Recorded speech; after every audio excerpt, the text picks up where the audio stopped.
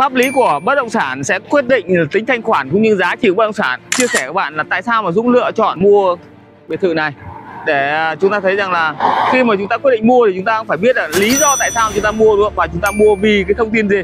Thưa các bạn, ở đây là một cái bất động sản đã nằm trên cái trục đường này, trục đường 24 m và nó nối liền các cái khu đô thị với nhau. Ngoài ra chúng ta thấy rằng bên tay trái của chúng ta đây, phía bên kia xa xa là sân gôn và trước mặt đây là là một cái hồ đây, gọi là hồ đầm bạc và các bạn thấy rằng khu vực này hiện nay như nào nó vẫn đang rất là hoang sơ, đúng không? ạ? trong quy hoạch của nó thì ờ, tỉnh đã phê duyệt là toàn bộ những cái đường bao của khu ờ, vực hồ đầm bạc này sẽ kè và làm đường đi bao quanh thế như vậy là chúng ta thấy rằng là nếu như mà khu vực này, đây là một phần để tác dụng để cho bất động sản của chúng ta có thể tăng giá thôi và khi khu vực này chúng ta thấy rằng là được xây kè lên, thì nó có một cái hành lang đường nữa, thì giá trị ở khu vực này sẽ tăng lên đấy là cái yếu tố liên quan đến thông tin bên trong khi mà chúng ta muốn đầu tư bất động sản. Và còn vị trí, chúng ta xét đến yếu tố thứ hai. Vị trí thì với những cái vị trí như này, các bạn thấy rằng là ở đây là có dãy biệt thự này. Thì à, các bạn à, hình dung là pháp lý đã rõ ràng, đúng không? pháp lý rõ ràng và nằm trên trục đường lớn và view thì view hồ và view sân gôn. Như vậy là gì ạ? yếu tố pháp lý cũng được đảm bảo. Một yếu tố nữa để chúng ta quyết định chúng ta mua cái bất động sản này, đó là về giá.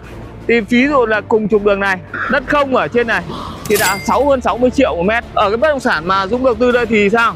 Thì nó đâu đó nó rơi vào khoảng tầm hơn 50 triệu một mét. Thì nó đã rẻ hơn so với đất không kia, cùng trên cái hồ đầm bạc ấy. Chúng ta xét đến cùng nhá, cùng thể loại, cùng vị trí nhá. Thì ví dụ như bên kia, khu kia thì có một dự án, nó cũng giáp hồ như này. Và họ đang giao dịch theo của chủ đầu tư là 68 triệu một mét. Chưa có sổ, thanh toán theo tiến độ thứ hai ạ. Phía bên kia của hồ thì nó có dự án đó, dự án bắc đà bạc nếu như những căn mà địa view hồ như thế này thì giao dịch hơn 100 triệu mét. Thế như vậy chúng ta thấy là nếu so sánh về giá rồi thì chắc chắn là gì ạ? Ở chúng ta mua những bất động sản này này, nó sẽ có giá trị và cái khả năng nó tăng trưởng. Chúng ta chỉ cần bằng kịp với lại các cái vị trí mà hiện nay họ đang bán thôi là chúng ta đã có lợi nhuận. Do vậy thì khi mà chúng ta quyết định là chúng ta lựa chọn mua bất động sản thì hãy tìm hiểu về thông tin pháp lý này. Rồi tìm hiểu về giá thì, thì à, video sau thì Dũng sẽ hướng dẫn bạn cách để chúng ta có thể đánh giá làm sao mỗi bất động sản này ở khu vực này giá bao nhiêu chúng ta mua được và mua như nào. Ok và chúc bạn sẽ tìm kiếm cho mình những bất động sản có vị trí đẹp và giá tốt.